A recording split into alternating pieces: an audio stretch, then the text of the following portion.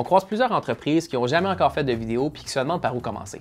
Avec les années chez Views, on a déterminé une recette gagnante qui s'appelle le Trio Vidéo Corpo, qui propose trois vidéos que chaque entreprise peut faire puis peut personnaliser. En passant, ça s'applique très bien au marketing comme au RH. Si on pense au marketing, vous allez présenter votre entreprise, vos produits, vos services, tandis que si on pense au RH, vous allez présenter la culture de votre entreprise.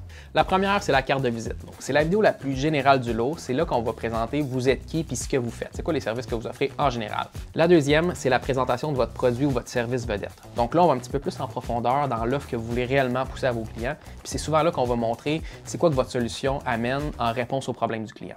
La troisième, c'est la présentation de l'histoire de l'entreprise. Donc ici, on se concentre sur la mission, la vision, puis votre historique, le background. Qu'est-ce qui fait que vous êtes là aujourd'hui, que l'entreprise existe? C'est quoi sa raison d'être? On veut que les gens connectent vraiment avec vos gens.